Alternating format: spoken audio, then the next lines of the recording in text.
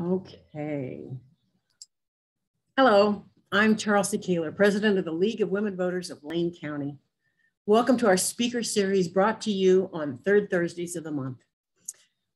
We come to you virtually with help from Rhonda Livesay, Terry Parker, and Nancy Mills. Thank y'all for helping. We live on the traditional land of the Kalapuya people, whose descendants are citizens of both the Confederated Tribes of the Grand Ronde community and the Confederated Tribes of the Siletz Indians of Oregon. We honor the land and the people who have cared for it and reaffirm our commitment to steward and honor the land through our league's work. After the speaker presentation, we'll have time for some questions you can begin to ask now and, and as they come to mind via the Q&A. We'll save them for later. All right, onward to our speaker. But first, I'm going to introduce him after I get my cursor where I need it to be. KLCC has been on the air since 1967, serves more than 88,000 listeners each week, is consistently ranked among the top five public radio stations in the nation for market impact, and is a charter member of National Public Radio. KLCC's mission statement says they wish to engage the mind, enrich the spirit, and deepen understanding of our community and our world. Jim Rondeau became KLCC's general manager on June the 10th of 2019. At that time, he, he expressed his enthusiasm in an interview with Los Angeles media by saying KLCC is number two in the market with a tremendous team that won three regional Murrow Awards just last month. And you can't go wrong with a station that runs its own brewfest. Indeed. Rondeau came to Eugene from Southern California, where he co managed radio and television stations, including the partnership of non commercial KSBR of Saddleback College and KCSN of Cal State Northridge.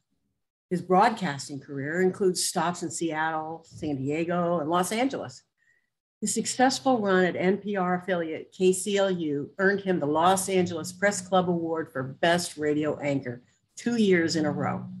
Commercial broadcasting highlights include Gavin Station of the Year honors at KRUZ Santa Barbara, afternoon host at KCBS FM Los Angeles, and anchor slash reporter at Le the legendary CBS news outlet KNX. Jim considers KLCC one of the jewels of the public radio system. He says the passion and dedication of its staff and volunteers combined with the support from Lane Community College exemplify community service at its best. Under his management, KLCC in 2020 was awarded two regional Edward R. Murrow Awards, and in 2021 was awarded five. Since beginning his work at KLCC, the station has also won multiple awards from Native American Journalists Association. Congratulations. And as a child, his family lived in Eugene before moving to Everett, Washington. So for him, he felt like it was coming home and was eager to be back in the beautiful Pacific Northwest.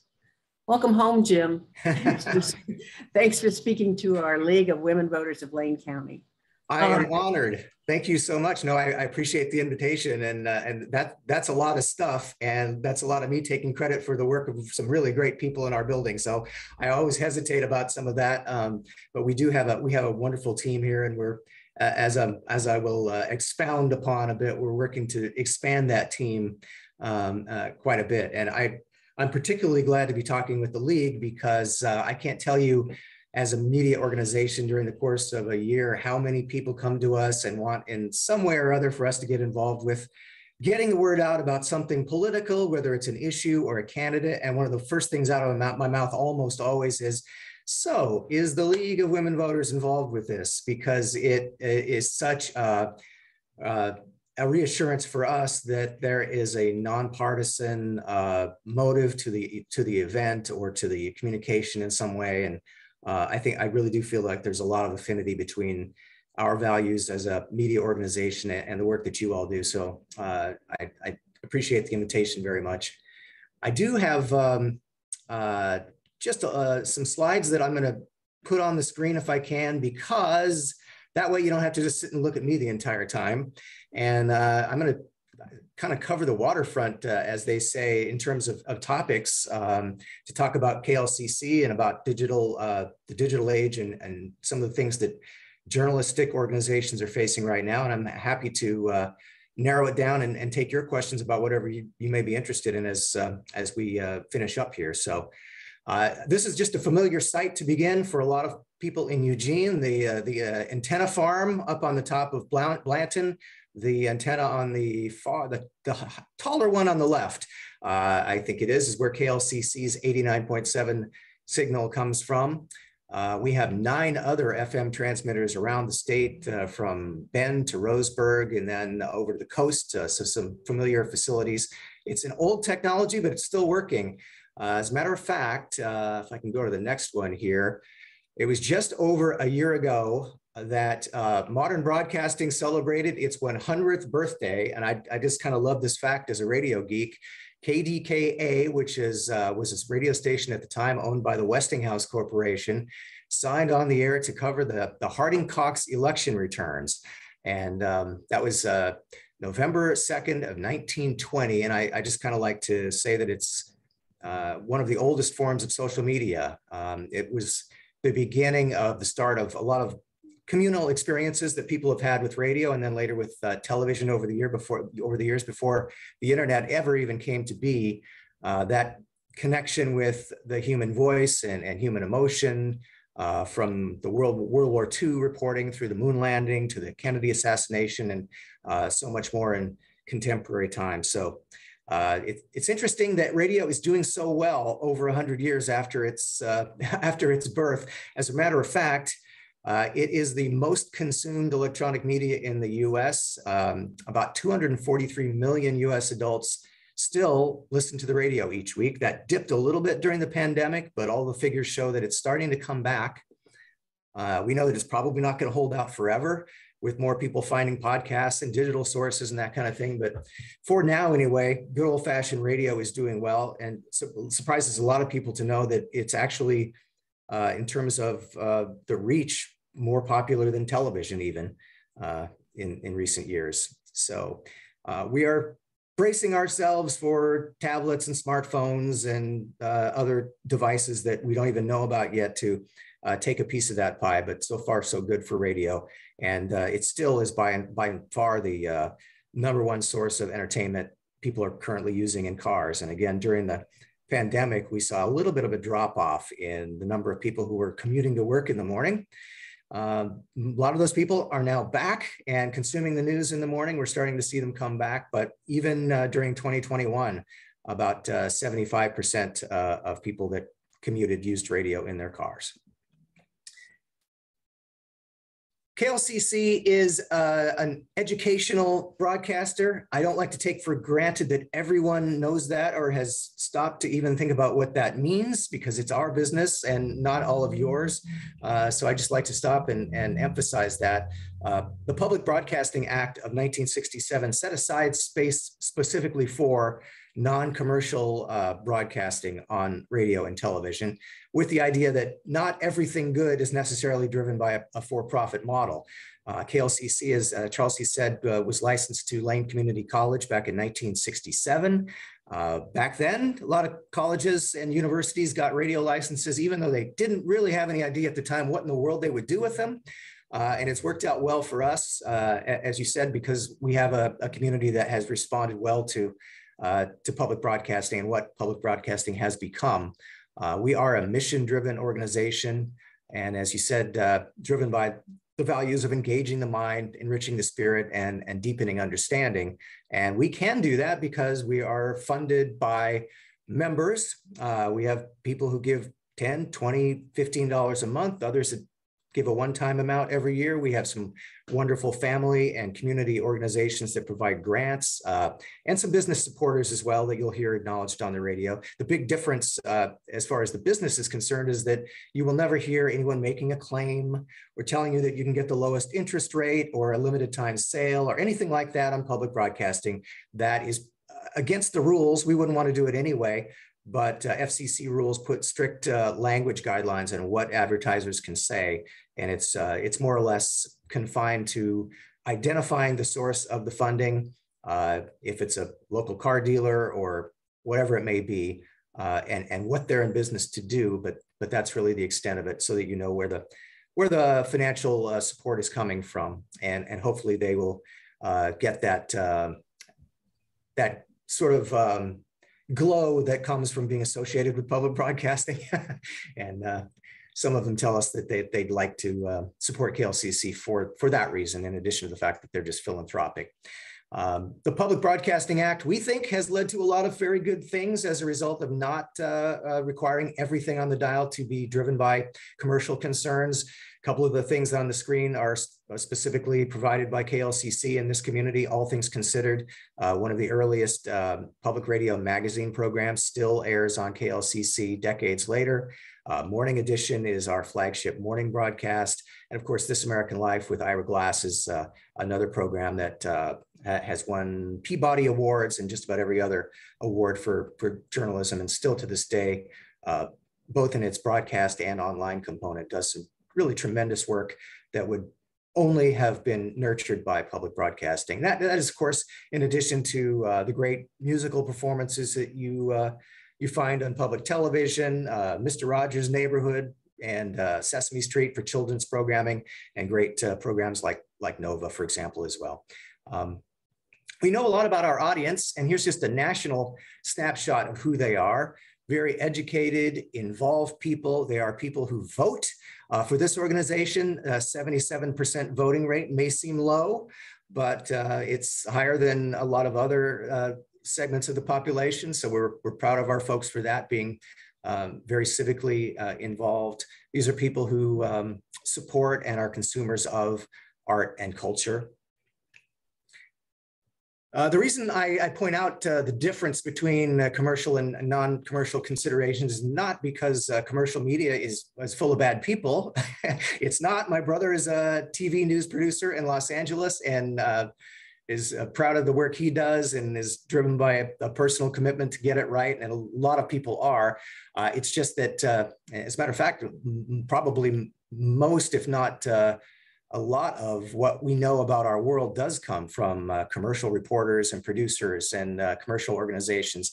But uh, digital media has really changed the game. Uh, if you just pick up any local newspaper across this country, the want ads and the grocery store circulars and the automotive sections that used to be in there that would support the news coverage that you would get in local communities, mm, for the most part, that does not exist anymore. So much of it has gone off, and uh, in the digital age is is uh, instead uh, funding that's going to Facebook and Google and other sources.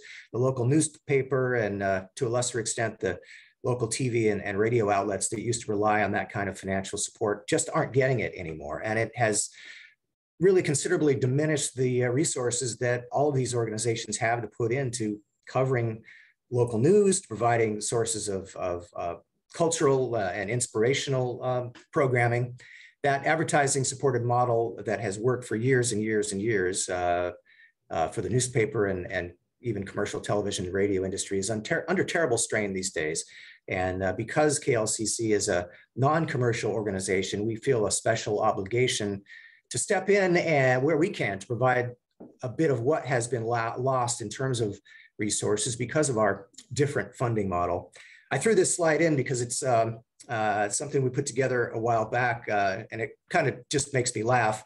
Um, I'm asked occasionally as the, the manager of a, a public uh, radio station why public broadcasting should exist at all. Um, occasionally, someone will make the point that they believe that if the consumers want it, the market will uh, will provide it, and that's the way it should be. And I just kind of semi-jokingly point to cable television in the 80s and 90s when there was really a renaissance of of channels, and we were we were all told that we would have the Arts and Entertainment Channel and Bravo for fine arts and opera, and the History Channel telling us about our past and how we got here today.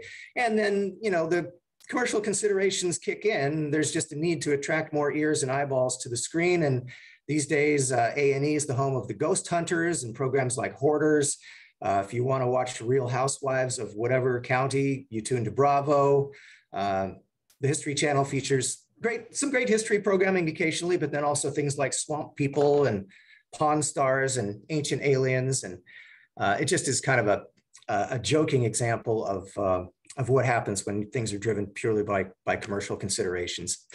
So today, by somewhat happy accident, KLCC uh, operating under this non-commercial model that a lot of people still to this day will tell us that really shouldn't work.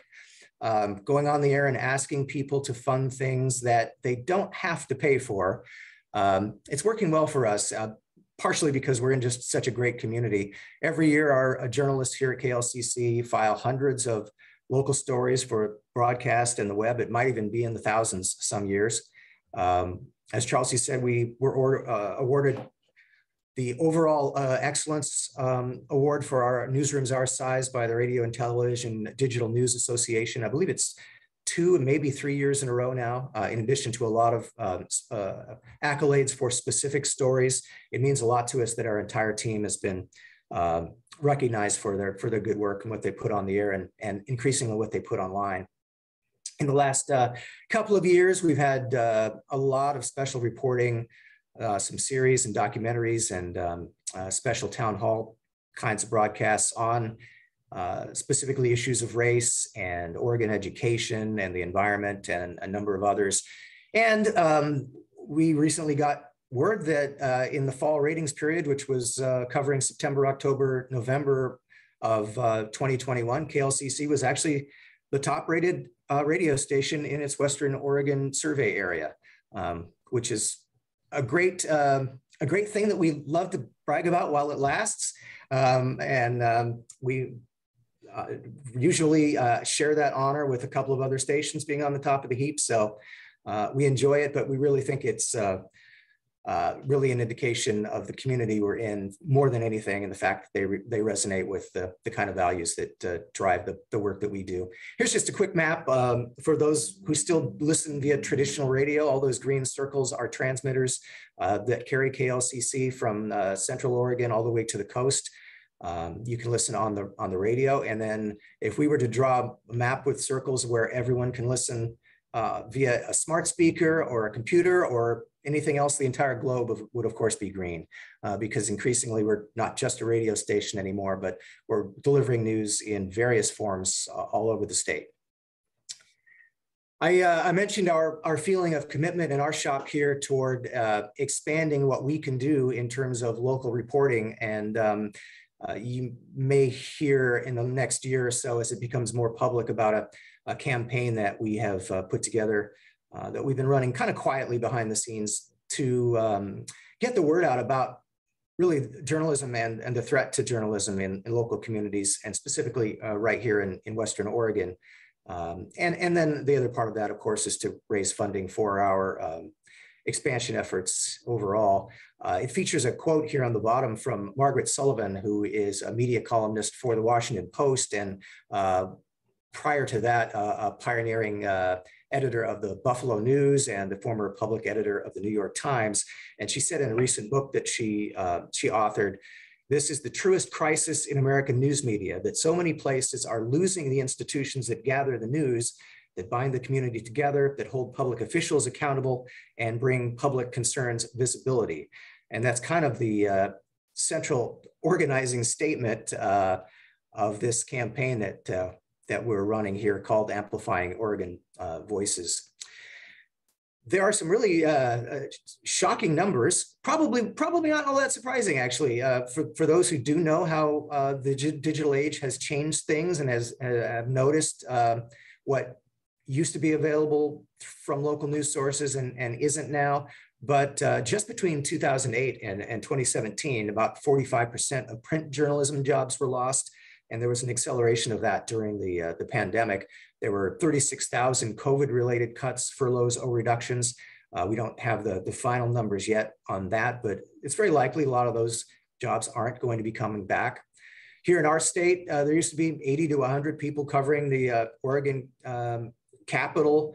That press corps has dwindled down to uh, really just a handful now. They're probably 13 to 15 uh, now, uh, covering regularly what goes on in, in the Oregon Capitol. Uh, 1,800 newspaper closures and mergers between 2004 and, and 2015. And again, those uh, numbers are, are probably still, uh, still climbing. and 50% of US counties only have one newspaper. In many ways, we here uh, in our region are doing better than the country as a whole in terms of the uh, resources that we have available to us to, to find out what's going on in our world. And there's a lot of strong academic research um, that we look to as a mission-driven organization as, uh, as really bad news uh, when it comes to the decline of uh, the local news ecosystem, both here and, and nationally. Uh, because when you don't have a lot of strong local news outlets, um, research shows you have fewer people running for public office. People don't vote at the rate that they used to vote at because they don't feel like they know what's going on. And the cost of government goes up because you don't really have a watchdog uh, looking over your shoulder as an elected official or as an administrator to make sure that you're spending uh, the public's money efficiently and um, that, that accountability just, uh, just isn't there. I will just, uh, just as an aside, I'd also mention that um, there's uh, a real nationalization of discourse that's been noted uh, in recent years. And uh, this is particularly true, uh, it, it's true on our air occasionally too, as a, as a national public radio affiliate, uh, where we try to supplement the stories that are uh, produced by the network on a national level with local reporting. But uh, a lot of people these days are getting their news from places like CNN or Fox News or MSNBC or cable news sources. They're, just about every network now has some sort of streaming or, or cable news source. You're getting the stories that are uh, really hot button national issues. But the chances are, unless there is a catastrophic event or a major scandal of some kind, you're probably not hearing about much of what's going on at, on a local level in Oregon on CNN or any of those outlets. Uh, they do a very good job of what they do nationally, but if uh, the local news gathering ecosystem is, is hollowed out by fewer reporters, fewer producers um, in communities like Eugene, Springfield, and Bend, and uh, uh all Douglas County, and, and, all over the areas that we serve, there's just um, less chance that uh, the community is going to know about the conversations that are happening that are important to them. Things about uh, local zoning, local local elected officials, uh, education issues, and just so many other things. On a more positive note, though, uh, we take pretty seriously around here our value uh, as a uh, one of the organizations locally that has a platform to put things on the agenda and contribute positively to community discourse. When you do have journalism that is doing its job, you have better governance uh, increased economic investment because the people who are spending the money believe it'll be well spent, appreciation for cultural diversity because you have uh, reporters introducing you to people that you may never have a chance to meet, knowing about uh, community celebrations and like that uh, you likely wouldn't know about unless somebody were out there covering them. Um, there's higher voter uh, participation and studies show that there's less polarization because people start talking about issues, individual issues, rather than about uh, left and right and political parties and uh, framing it that way. Uh, so we really believe that uh, one of the things that we can do is contribute to a, a more cohesive community by uh, being a convener of, of civic dialogue. So our, uh, our campaign, this is a little bit of inside baseball stuff for you, but we have uh, as, a, as an organization that was started in 1967 as a radio station, um, we are building into not just a radio station, but a multimedia organization, something that you'll be able to uh, tune into on the radio, yes, but also find on your, uh, on your uh, palm handheld device, uh, on your desktop, uh, via your smart speaker, any number of other places. And so that means uh, the need to modernize an infrastructure that was designed to run a 24 hour radio station, but wasn't designed to be a digital newsroom necessarily. Um, so we're, we're, we're in the process of doing that uh, right now. Um, more and more people are just expecting um, that delivery of information to wherever they are. And if it's on a mobile device, then we need to have apps and things ready for the mobile device. So uh, digital platform expansion is a big uh, issue for us. But really, by far, the biggest investment is the creation of local content that reflects the, the people and the issues, the sights and uh, sounds of, of Oregon that you wouldn't find anywhere else unless there was a local newspaper or local radio station out there uh, out there creating it. So that's what uh, I'm really proud of uh, the team that we have now for being able to do really uh, on sometimes some days a shoestring um, with fewer people than we actually need, but we have a hard, hardworking, uh, great group of folks who are out there doing it.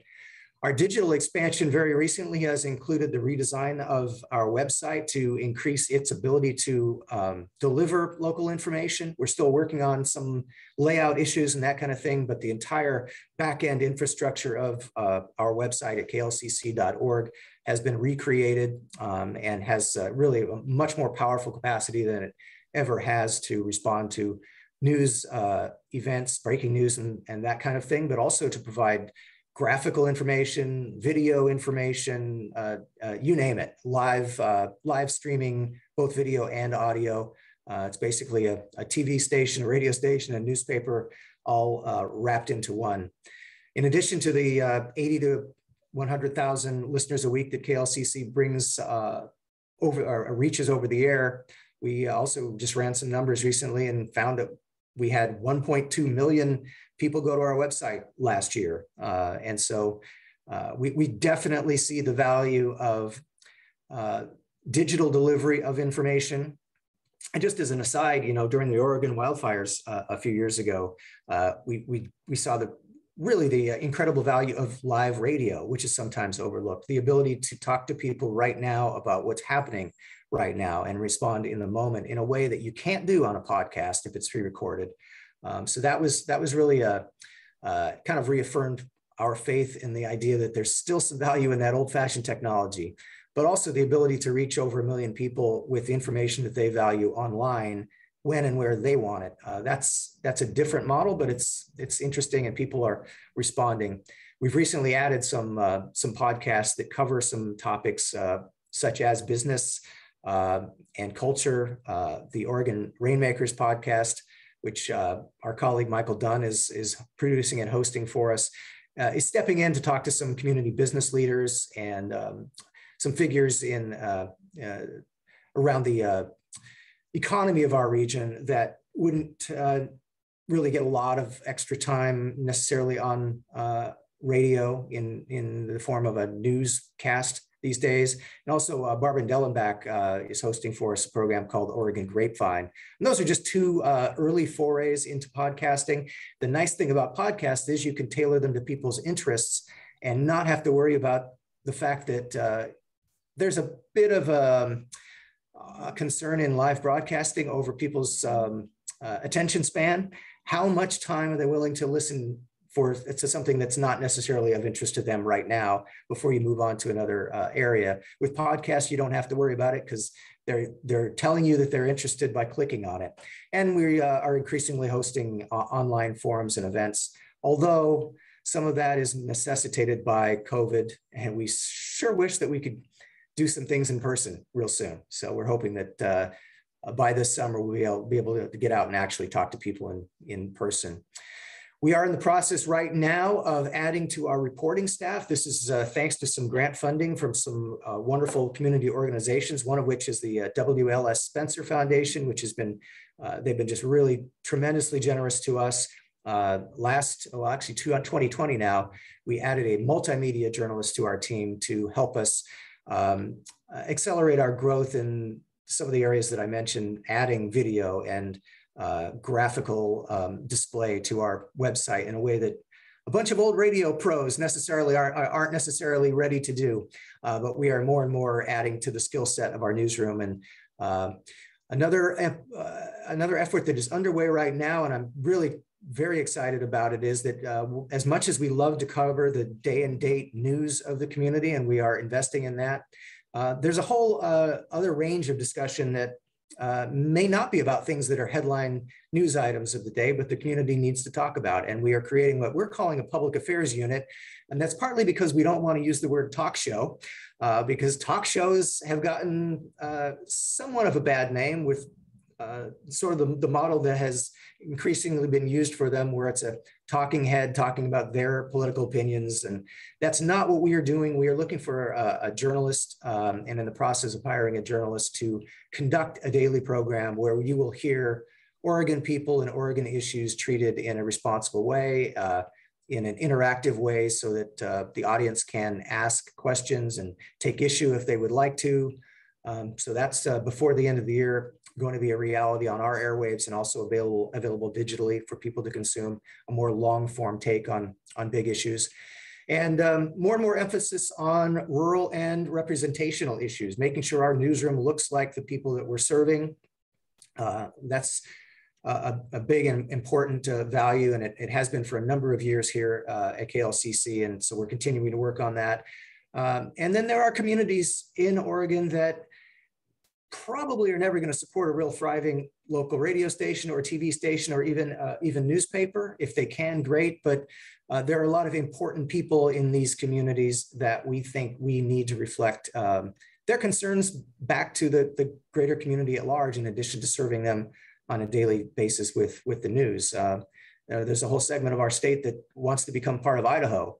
Um, and it would behoove us all to, you know, know what it is that they're talking about. What, what are they taking issue with? And uh, so we're working to make sure that we're able to bring back those stories from places outside of Corvallis and Eugene and Springfield, where we think we're, we're pretty strong, but uh, not, not as strong as we'd like to be in some of the uh, more far-flung places. So that is kind of a, just a, a, great overview of the things that we're working on, things that we, uh, we think are, are uh, of value for us right now. And I'd be happy to take any questions you have right now, uh, or feel free to jot down my email address if we can uh, chat one-on-one in, in one way or another. We're happy to do that as well. It's on, on your screen and, and be happy to, to email that out to anyone who has, has an interest. Hey, very good. Thank you very much. That was, that was wonderful presentation. Uh, in fact, it kind of um, answered my questions before I even got to express them. So uh, very informative. Thank you. Um, we do have some questions here. Um, in one of them from Terry is today's media environment requires reporters and editors to be detectives of misinformation and be prepared to debunk falsehoods without amplifying them. Uh, how does KLCC approach this news reality?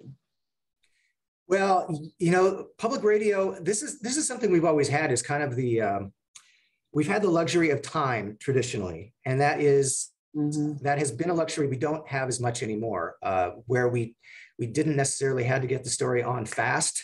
We got it on when we could get it right. Now, increasingly, because uh, like I should take a step back. You know, the, the old model used to be the local newspaper would report the story, and public radio would analyze the story and expand on the story after local print uh, reporters brought it, brought it home. Uh, with fewer people reporting for local newspapers these days, we increasingly are having to be the day and date um, gatherers of fact and not just the analyzers. It's kind of a new role for public media. We've been in it for a few years now. Um, but one of the ways that we're doing it is trying to bring in uh, enough reporters who can specialize on in a specific area. Um, have someone whose specialty is the environment, uh, someone who specializes in education, um, and, and, you know health. Uh, certainly, with COVID nineteen has been important, um, and that is part of the value of adding to the newsroom to be able to have people who can detect uh, a falsehood when they're being told about an economic investment project that doesn't seem like it all adds up or, or something like that. And uh, we, we, up to now have been able to allow reporters enough time to do the background work on those stories so that they, when they do go to the press conference or get the one-on-one inter interview, uh, have enough background to to detect the falsehood, to uh, to play devil's advocate, which is something we want them to be able to do. But increasingly, as we are frontline uh, day and date fact gatherers, that's going to be more difficult without people who are specializing in in a in a specific beat. Uh, we had uh, a reporter who just recently uh, left us, uh, Elizabeth Gabriel, who is really a great addition to our newsroom and left us to go to a, great opportunity for her in Indianapolis. Um, but one of her passions was was education. And so she would go into an interview about anything involving education knowing everything there was to know. Um, we have some we have people now um, tiffany eckert who's our uh, primarily uh, uh, health reporter for us knows pretty much um, the the day's uh, stats about covid or any other health issue. Uh, And, and we have we have a lot of reporters who are like that who specify uh, specialize in specific areas and we're going to need in the future to do a lot more of that so that people go into an interview uh, with a factual basis to work from and are not trying to just learn on the fly in, in five minutes uh, what all of the uh, nuances are. That's wonderful. Um, we have another question. Um, have you given thought about how KLCC is going to engage in the upcoming election season, um, given how many candidates and changes are going to be in front of us? We we have given thought to it. I don't know that we have any final answers. I mean, uh, I, I know we have uh, some ambitions to conduct uh, some candidate forums, uh, both on the air and with some partner organizations. Um, uh, City Club of Eugene is is doing some candidate forums, and I know uh, our journalists have been engaged to uh, moderate some of those. It's it's going to be a really kind of a wild year, and, and right now we're also uh, we're also involved with some efforts to just take the temperature of voters about what it actually is that they are interested in hearing from the candidates, so that the reporters will be asking the right questions uh, to inform voters. So we don't have any we don't have any final answers, but Rachel McDonald, uh, our news director, is is leading the charge on that uh, in terms of what the news department is going to be doing, and and we should have some answers fairly soon as to what the calendar of events will be. Part of it will uh, part of it will be as it always is what is already available what you know what sorts of forums and opportunities league of women voters will provide um, for us uh, we're also concerned about making sure that um, we provide good coverage of, of issues that aren't necessarily central to Eugene and, and Springfield here that uh, uh, are important to Douglas County and are important to uh, Linn and, and, Benton County and Deschutes County and uh, Lincoln County and the other places that we cover. So um, it's actually a bigger challenge than it even would be if we were a local newspaper because the geographical coverage that we have uh, lends itself to some obligations to um, uh, provide information to people that aren't living in our backyard here? Well, the League of Women Voters has many um, branches in all of your uh, where where you where you're heard. And so, if we can be of assistance, I can't speak for the others, but certainly for Lane County, if we can be of assistance, let us know. Um, we we uh, we always we always try to weigh whether or not our best um, the best use of our resources is to get the word out about things that other people are doing or try to do them ourselves. Right. Uh, and and the test is can we do it well? so, but it, but in other cases, if we notice something that just isn't happening because there isn't a local organization on the story or or invested in in the uh, the political contest in one way or another, again, it's one of those situations where we sometimes feel like, well, we have an obligation to put resources there. So. Um, and Ellen asks, are there many public radio stations that are number one in their markets? You know offhand?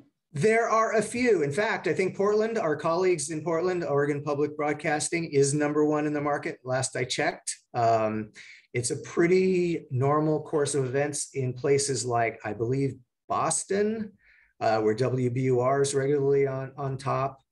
Um, it's, uh, it doesn't happen everywhere. Uh, you'll see other markets where the public radio station is number 20 or 25. Uh, so that's why I say it speaks, I think it speaks well to the kind of discourse that Oregonians as a whole are, are kind of gravitating toward almost as much as it does to anything we do. So I remember a few years back um, that um, Portland had was the drive time uh, king. Uh, so and that that made national news evidently. So that yeah. was one of the times that uh, that happened. Um, okay. Um, oh, let me look at this. There's new research on how people process information and heightened awareness of how information spreads. How does that impact your way of doing business? Are we talking about misinformation? I wonder. Um, when, when we're very a little further, we are very um, tuned into increasingly i mean i guess i guess because of social media because of email there's an immediacy of the kind of response that we get as broadcasters even for radio, which is uh, traditionally a kind of a one-way medium, uh, we hear back from people all the time, and it's it's it's very interesting to hear people's uh, people's take on uh, reporting on COVID nineteen. Um, uh, we will hear we will hear from people who don't think the virus is real occasionally, um, things like that, and and then there's there's a there are some perceptions that we are very aware of. I, in fact, this is this is just an interesting aside, oh, interesting to me anyway, because I work in this business. Um, there was a there was some a study the other day that I was reading that said um, this term that we often like to use in public radio that our journalists are storytellers. There's a certain number of people out there when they hear journalists called storytellers, they think literally we're making up the stories. So we have to be very careful about the way we frame what we do. And so uh, there's a lot of, I guess, different aspects to that question, but definitely um, hearing back from listeners helps us speak to where they are in terms of what they know and what they need to know. Um, and, and, we've been very, uh, I think, acutely aware of that during uh, COVID-19, where there's just a, there's a lot of background that you have to know to understand what's going on with a pandemic. And we can't assume that everyone is tuned in all the time. So providing that background so that people understand what it is we're saying about the variants and the vaccinations and uh, what, whatever else may, may come next, uh, the effect, uh, effectiveness of mask wearing, uh, uh, that we're, we're constantly kind of providing that background over and over again, or at least the, what is known at that best, best understood at that current time. Um, so that so that we're kind of taking everyone along with us informationally and not leaving people behind. I hope that answers some of it. Well, and I, I must um, commend KLCC for what they did with COVID on Friday afternoons to help people understand what was going on locally and what was necessary. The um, I don't remember now what you call it. Um, the Friday show. Say what? it was called the Friday show. Oh, cool. Do you have any plans when COVID is over of how to fill that? Well, that's part of our uh, yes. Our, our public affairs unit is going to pick up where that left off. Uh, and I will say we we were very lucky here because we had access to a really uh, a stellar public health professional in Dr. Luedtke who was able to take listener questions and boil it down and make sense of COVID. Um, and so we did get a lot of really good reaction and some really insightful questions from listeners during the course of that program. But that was an really a, an example to us of the need to do something longer form. Uh, you know, ordinarily during drive time for us, long stories, maybe four or five minutes uh, on a given topic. Sometimes they'll go longer. Sometimes they'll be, you know, 10 if we need them to be. But um, there are there are issues like like COVID and environmental issues and why did it get to be 130 last summer? You know things that that, that can be talked about um, that may not necessarily be in the headlines today but uh, require a longer conversation sometimes dialogue between people who disagree with each other. So that's why our public affairs unit we're calling it is going to be producing a an hour long program uh, it's similar to a program we air from uh, Oregon Public Broadcasting called Think Out Loud, which is currently on in the noon hour. But uh, what we are going to be doing is a uh, more Western Central Oregon focused version of that, more or less. Um, and that'll that will pick up some of the long form engagement that the Friday show and other um, previous efforts uh, have uh, have brought to the air for us. So we're, we're looking forward to getting that on the air. Hopefully this summer, the timetables slipping a little, but um, we're we're working hard behind the scenes to get that done. So it won't be a, a specific topic like COVID. It, it will vary from week to week, or it will vary from yeah day to day. Um, and, and also it'll be every day. It'll be every day. That is that's the ultimate goal to get it on every weekday. Wow. Uh, for at least an hour, and then there will also be some engagement components and a way to listen to it online for those who don't hear it don't hear it live. Um, very so. good. Um, here's a good one from June. Uh, she feels sorry for the people in Eastern Oregon who are outside of the Bend area um, and therefore have no access to OPB for another point of view. That's true of my hometown in Ohio. There are five places that can get Rush used to get Rush Limbaugh and only one uh, public radio station, which most of the time just played classical music. So there was there's no other opportunity, or, or or are we wrong? Is there an opportunity to get public radio broadcast in Eastern Oregon? Well, we, yeah, we're in Bend and Sisters, uh, and then there are there are some repeaters in some fairly rural places. Uh, o, OPB has some some stations, and I'm not sure of the exact cities, but I'll tell you. Uh, we, we get into we get into sort of this this uh, thinking about the map and where we've got sticks and you know towers broadcasting things and and then we always have to stop and tell ourselves we're anywhere the internet is these days. Right. Um, so if if you've got the internet in any form, you can listen to any station you want to anywhere in the world, which is kind of part of why it's so important for us to be local.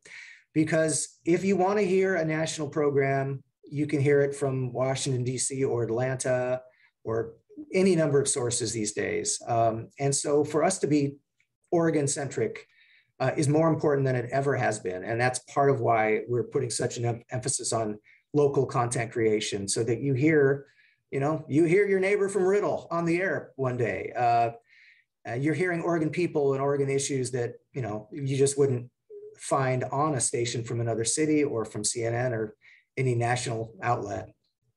Uh, um, Freddie brings up this question I thought about too.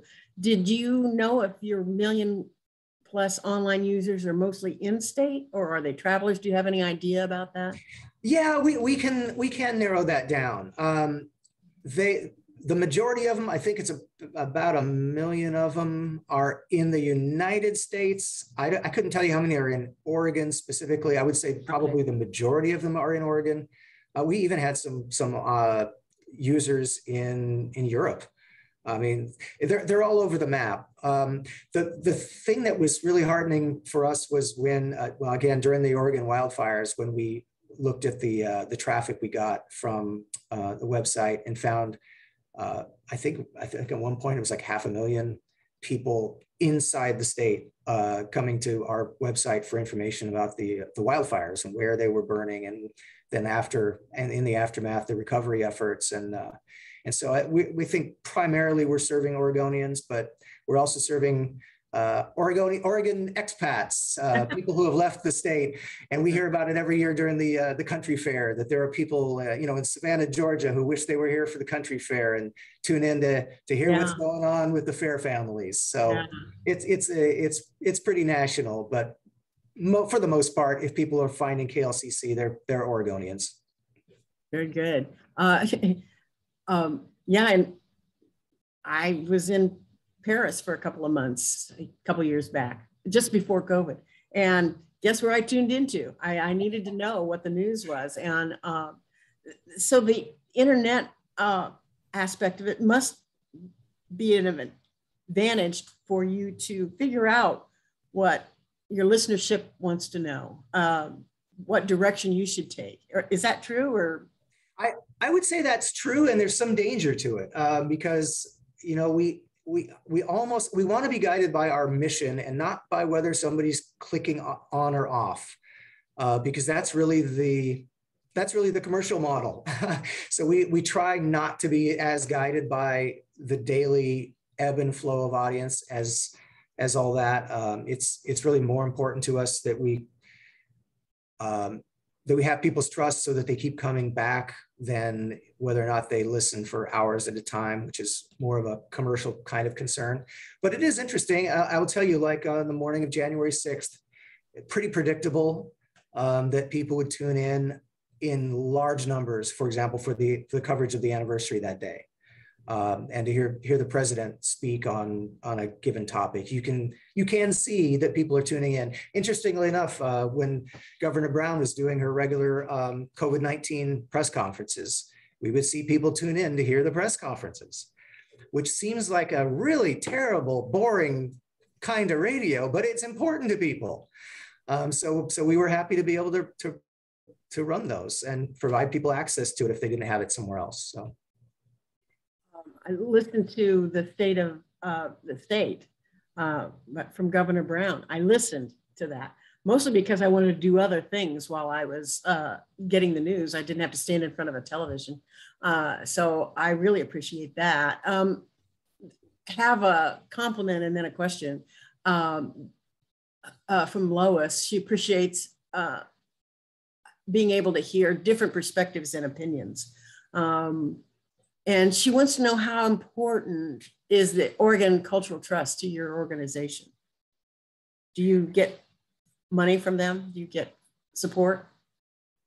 Uh, the Oregon Cultural Trust has been a, been very supportive to uh, to KLCC. Yes, Good. absolutely. Um, it's it's one of those things that's a little bit difficult for some people to figure out how that program works, um, and so we do um, make some effort to try to explain how uh, some aspects of it work. But yeah, it's and and I will say that having that in this state it makes us a little bit unique uh, because coming from California, you don't have anything quite like really? that to support wow. the arts. Uh, so it, it's really, really a, a, welcome addition to our funding. Um, man, I'm, I'm re repeating here. Um, here's a good one, I think. Um, what are the other local news resources that you rely on to support the work of, uh, of? Oh, we're very aware of what pretty much most of the uh, other local reporters in town are doing. certainly of what the Register Guard is is doing. We subscribe to the we subscribe to the newspapers. Um, I, I, think we're all fairly uh, aware of um, what is going on on, on the local television uh, news stations. Um, I would tell you one of the most important things and, and something I'm really grateful for is the collaboration that we have between the other public broadcasting um, organizations in this state. Another thing that's not not entirely uh, present elsewhere, but we have a great relationship with Oregon Public Broadcasting and with our counterparts down in Ashland at, at Jefferson Public Radio. And um, I, we think it's, it's really going to serve the state well going forward because where, for example, JPR may put resources into covering a community. We don't necessarily have to because we're they're more than willing to share um, those resources with us when that reporter comes back with a with a big uh, news story. Um, and the, the same, uh, you'll hear KLCC reporters in, in Portland and uh, on the JPR stations out of Ashland too. So those are really um, uh, and, I, and, I, think the, the coverage of the state capital um, may be one place to really highlight that. KLCC does have a reporter um, uh, based in uh, Keizer to report on the goings on of Salem, uh, but also of Corval Corvallis. Um, and he's only able to do so much, obviously, as one person. Uh, but then being able to uh, editorially coordinate with Oregon Public Broadcasting what resources, resources they're putting on a, uh, political story out of Salem so that we don't necessarily have to if they're already covering it is, is really a, a great addition for us so that we can put resources where they're going to generate uh, add value uh, to the entire system instead of all creating the same content. Um, but at the same time, we have kind of a, we have a whole different group of editors and news directors who are criti- critiquing the stories. So if somebody brings back a story with one perspective, someone's going to say, "Hey, you left that out." Um, which is which is valuable as well. Interesting. Uh, uh, sort of a question that I had was, um, I was pleased because I'm not such a music fan to hear more talk on KLCC. Uh, what led to that decision? Well, uh, it, it's hard to explain. We don't necessarily program the station uh, as a radio station thinking, well, it's talk versus music. Mm-hmm. Um, it's more a decision of what the audience seems to value and what they could get somewhere else pretty easily. Um, my kind of unpopular perspective in some ways is that music, uh, unless it's locally recorded music, essentially is syndicated programming. Um, and our highest value is creating new content that you can't find on a CD, you can't download or listen to on your smart speaker, uh, and you probably can't find uh, on another radio station just by flipping the dial. If you think about the radio dial as sort of a neighborhood, um, it doesn't make well, or let's let's say it's it's Main Street. It doesn't make sense for everyone to open a delicatessen. Um, And, and KLCC is kind of unique. If you flip around the dial in most parts of the state, you may hear KLCC and, and OPB in, in some places. You might have two choices for news on the FM dial or some variation of public radio style programming. But for the most part, the entire, the rest of the dial is going to be music. Um, and so music listeners have many more choices than news listeners. Uh, and so increasingly the, the response we get from people who are members and, and we think the ratings another dirty word we're not supposed to say ratings but the audience data that we uh, that we are able to look at shows us that when we put on um, mission driven um, public radio style programming the response of the audience is much stronger and probably it's because uh, increasingly people uh, if i want to hear um, well, who knows? If, if, if I want to hear Shostakovich right now, I can ask my smart speaker to play it. Um, you don't have to wait for a radio station to play your favorite song anymore. And that's really going to be a, uh, a huge change in the way that um, radio stations are programmed in the future. So that's why we're focusing more on local content than anything else. Very good. That's going to disappoint our questioner, June, who wants to know uh, do you how soon do you anticipate broadcasting the New York Metropolitan Opera? I doubt we're going to be broadcasting the New York Metropolitan Opera, but if there is demand for that, there's a great classical station in Eugene called KWAX right. that would be probably that would be in their lane. We have uh, great colleagues uh, for more eclectic music programming at KRVM, which you know we have great respect for them, and we do have we still have some music programming that performs very well for us. Um, we have some jazz programming because you don't, you don't find jazz elsewhere. We have a, a folk program on Sunday afternoons, uh, the front porch that has just tremendous audience. Um, so we're not out of the music business. We're just mindful of what actually constitutes a, an alternative that you can't find elsewhere. And we're, we're more willing to be that alternative than to, to try to create a format around it. Okay. And here's sort of a technical question. Um, Lois wants to know, can you at any moment uh, uh, tell how many people are tuned in or is your information based on surveys? Uh, for radio listening, it's based on a survey that happens twice a year. Mm-hmm. Um, it's it's the most old-fashioned kind of survey you can possibly imagine, where people just make a diary and keep track of what they listen to. Uh, digital, it's much more immediate. We could tell right now how many people are listening uh, to streaming audio on a smart speaker or uh, desktop. We can't tell who you are. Uh, I don't want anybody to think we're spying on you, but we can tell how many people are actually logged in to listen. Uh, we can tell which stories um, are, are really popular with uh, listeners. And the same with uh, a lot of our content that we now post on places like YouTube. We can tell what kind of uh, interaction that they're getting with, with the audience. But radio is a pretty old fashioned survey method in this market. In slightly larger markets like Portland, you carry around, around a little thing that looks like a beeper and it electronically records what you're listening to. But that's not uh, technology that's currently used here in Eugene. Very good. Well, it looks like our time is up for today. That went fast. Um, thank you, Jim.